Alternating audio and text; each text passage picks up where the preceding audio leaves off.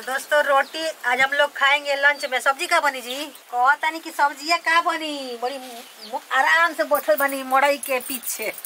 देख रहे हैं? फ्रिज में तोहरे पता बना का का सब्ज़ी बटे? देखी शायद कटहरो बा। कटहर के बनीबू। हाँ? कटहर के बनीबू। परोरा भी बा। परोड़ा के बनाई? बताई रहुआ उहे बनाओ तनी परोड़ा जे होता नहीं परोड़ा के बनाओ। तो मैं सोच रही कि आप परोड़ा मतलब? परोरा मतलब परवल। तो देखिए परवल लेके आए हैं लाला जी परवल छील के बीच में से काटोगे ना आप? उनमें मसाला खूब घुसेला। हाँ। सच नु सच में तो झूठ अभी तो देखिए आटा हम सान के रेडी कर लिए हैं। अब चलते हैं फटाफट परोरा का सब्ज़ी बनाने। चलो। आटा सान के हमेशा हाथ को धो लेना चाहिए। तो इधर देखिए हम चूल्हा जला लिए हैं। और फटाक से कर एक कढ़ाई रखते हैं, जिसमें बनाएँगे परोरा का सब्ज़ी। यहाँ पे देखिए दो चम्मच, छोटा चम्मच से डाल रही हूँ। सरसों का तेल, इसमें मैं सोयाबीन बड़ी भून रही हूँ। मेरा बेटा बोल रहा है कि सोयाबीन बड़ी, भी डालिए मम्मी परोरा का सब्ज़ी में। तो देख रहे हैं, अच्छे से हम इसको गोल्डन करके निकालेंगे, यानी कि सुनहरा कलर।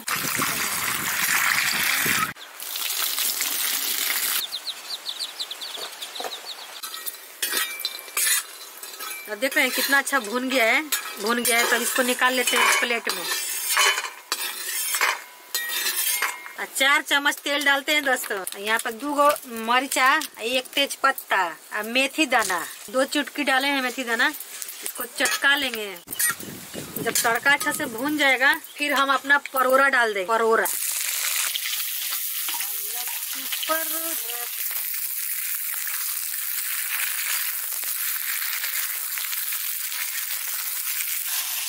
देखिए परोरा कितना बढ़िया से भुनाएगा।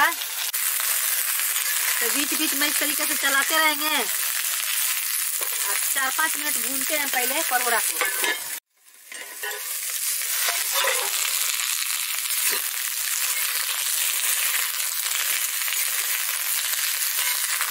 देख रहे हैं परोरा कितना बढ़िया से भुना रहा है। अब क्या करेंगे कि यहीं पे दो छोटे साइज़ का प्याज लिए हैं, वो भी डाल लेंगे। और डाल के प्याज और परोरा एकदम लाल कर लेंगे भून के।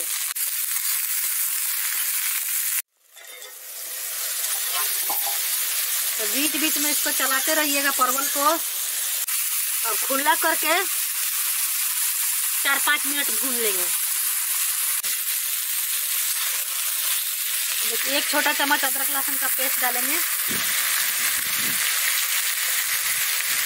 और एक ही छोटा चम्मच डाल रहे हैं हल्दी पाउडर। डेढ़ छोटा चम्मच लाल मिर्च पाउडर और दो चम्मच धनिया पाउडर। यहीं पे आधा छोटा चम्मच गरम मसाला डाल देंगे। दो देसी टमाटर लिए हैं। पिया न पिया पापड़ी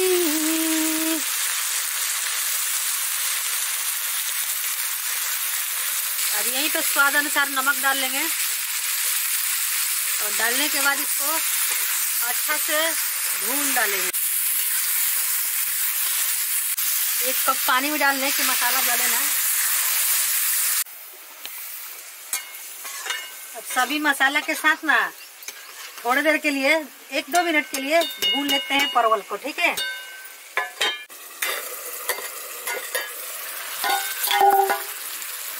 देख रहे हैं, कितना बढ़िया परवल भून गया है, और मसाले भी जले नहीं है। अब यहीं पे आपको देखना है कि तरीदार बनाना है कि सूखा बनाना है। तो हम लोगों को तरीदार बनाना है क्योंकि सोयाबीन भी डालूँगी और रोटी से खाना है। और देख रहे हैं, वैसे तो आप इस तरीके से भी बना के खा सकते हैं परवल का सब्ज़ी, क्योंकि परवल पक चुका है। इसमें डालते हैं सोयाबीन, एक बार मिक्स कर लेंगे और उसके बाद अब हम पानी ऐड करेंगे।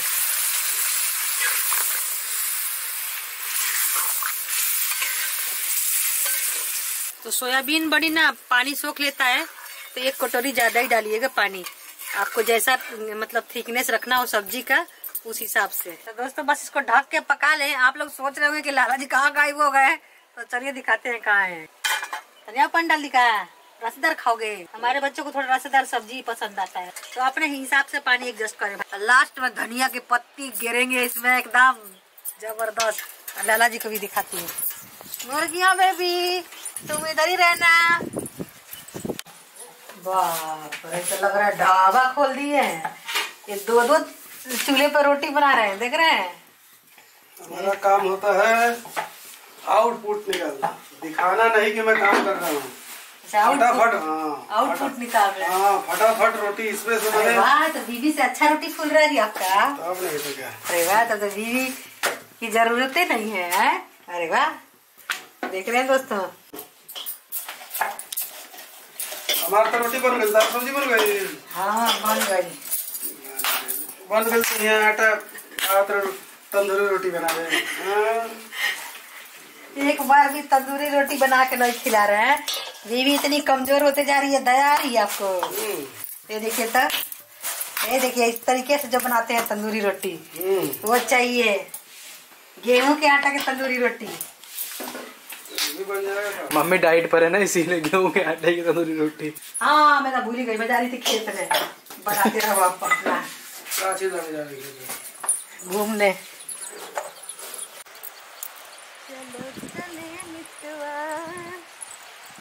देख रहे हैं दोस्तों खेत में आ चुके हैं धनिया की पत्ती लूँगी। ज़िंदगी की सोचो तो नहीं कि चटनी बना दी का देख रहे हैं हवा देखिए कैसे चल रहा है। ये देखिए। ये देखिए, पता चल जाएगा आपको। हा हा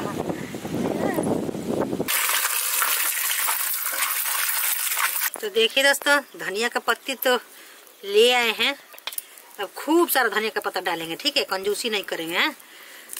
बाकी का चटनी पीसूँगी।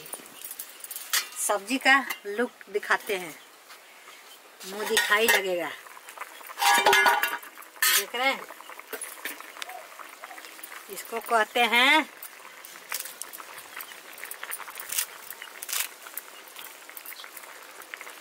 हाथ से तोड़ के डालने का अलग ही स्वाद है और चाकू से काट के डालने का अलग ही स्वाद है। देख रहे हैं दोस्तों? लुक एट गाइस तो धनिया की पत्ती खूब सारा। गैस करो क्या सब्ज़ी बनाई हूँ ललित? सोयाबीन की सब्ज़ी? हाँ कढ़ाई में देख के तो हमारे दोस्त भी यही बोलेंगे। सोयाबीन की सब्ज़ी बनाई अनिता जी। नहीं तो धनिया आ गए हैं यहाँ पे चटाई उटाई बिछा रहे हैं। नहीं तो अब देखेगा कोई तो बोलेगा क्या? धनिया की सब्ज़ी बनाई हो? लेकिन अब दिखाऊँ किस चीज़ का सब्ज़ी बनाई हो? ये देखो ये देखो। परोरा का सब्ज़ी। तब इसको आलू डाले हमें आलू डाल सकते हैं लेकिन हम नहीं डाले रेडी हो गया है परोरा का सब्ज़ी। अब खाते वक्त दिखाएँगे। ठीक है? चूल्हा। अभी नहीं ज़रूरत है तो लकड़ी। तो चटनी पीस लेती हूँ। दो, दोस्तों चीज़ फरियाने वाला चटनी। चटनी का वीडियो हमारे चैनल पे है ज़रूर देखिएगा। तो यहाँ पे देखिए चूल्हे पे ही सब्ज़ी की छोड़ दिए थे अब हम सर्व कर लेते हैं जल्दी से।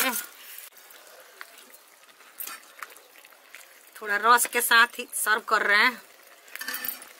तो देखिए कितना ज़बरदस्त बना है परोरा का सब्ज़ी। तो यहाँ पर देखिए परोरा का सब्ज़ी बनके तैयार है दोस्तों। तो अलग अलग प्लेटिंग कर लेते हैं। तो चटनी पहले ही बना दी हूँ चटनी दबा ले आई हूँ।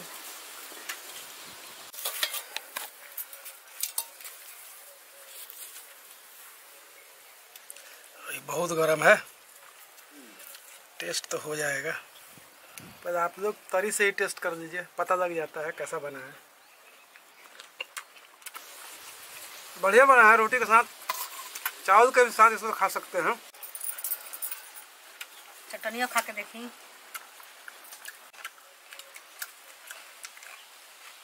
इस समय तो धनिया की चटनी भी खानी चाहिए। बहुत फ़ायदेमंद है। तो अगर दोस्तों आपको वीडियो पसंद आई तो आपको इस वीडियो को लाइक करना है, हमारे चैनल को सब्सक्राइब करना है और ऐसी वीडियो देखने के लिए जुड़े रहे अनिता जी के किचन के साथ। तो फिर हम मिलेंगे एक नई वीडियो में और जब तक के लिए आप भी खाएँ और हम सबको जब तक के लिए जुड़े रहे हमारे चैनल के, जब तक के लिए जुड़े रहे हमारे चैनल के साथ, फिर मिलते हैं एक नई रेसिपी के साथ।